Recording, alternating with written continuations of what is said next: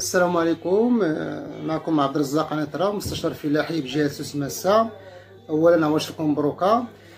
مجموعة من التعاونيات يتساءلوا على الطريقة القانونية لفصل أحد الأعضاء ديالها. بطبيعة الحال فالقانون الأساسي ديال التعاونية فهو تيحدد آه، يعني الشروط اللي خصها تكون في أي واحد بغى ينخرط في التعاونية. دونك هذا العضو فعنده واجبات كما أنه عنده حقوق.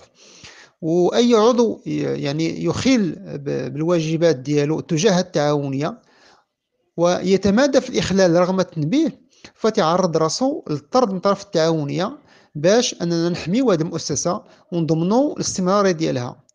إذا بطبيعة الحال فقرار ديال الفصل آه، ديال أي عضو خص يكون معلل مبني على واحد السبب آه، فأول إجراء تيقوم به المجلس الإدارة وهو تنبيه العضو المخل بالالتزامات ديالو تجاه التعاونية بأنه يخل بالالتزامات ديالو. donc تيعلموا بواحد الرساله مضمونة تنبهوه على أنه يخل بالتزاماته تجاه التعاونية. إما في المعاملات أو تهدر يعني يسيء للسمعة ديال التعاونية. أو مجموعه donc خص يكون واحد السبب اللي تيبني عليه هذاك مجلس الإدارة واحد واحد المراسلة ديال التنبيه تتمشي للمعني بالامر برساله مضمونة.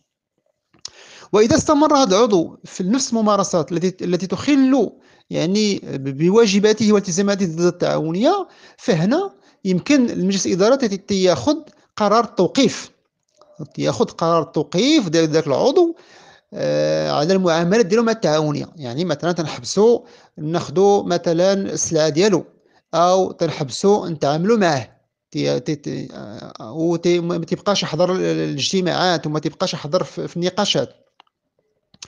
وهذا التوقيف يكون معلل كذلك نظرا يعني لعدم الالتزام ديالو بالتنبيه الأولي وتترسل ليه كذلك آه، عن طريق رسالة مضمونة في البريد في, في السكن ديالو.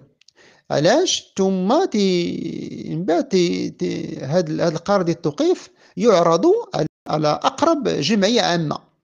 والجمعية العامة هي اللي عندها قرار اتخاذ الفصل النهائي بواحد النصاب أغلبية ديال الثلاث آه، الاربعه يعني ديال الاغلبيه ديال الجموع العامة الغير العادية. خص تكون واحد الأغلبية يعني كبيرة باش أننا يكون هذا الفصل ساري المفعول آه، بحالاش يمكن نفصلوا مثلا آه، شي عضو.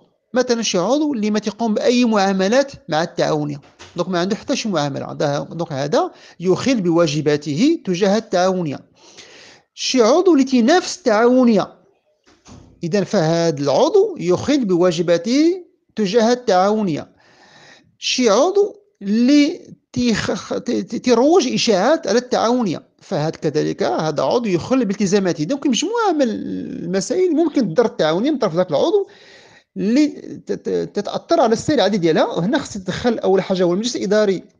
بواحد التنبيه ثم توقيف ثم تعرض الملف على الجمعية العامة وخص يحضر المعني بالأمر في الجمعية العامة باش أنه يدافع على راسه وتتبقى السلطة ديال الحضور ديال الجمع العام إما مصادقة على قرار الفصل أو بإلغائه.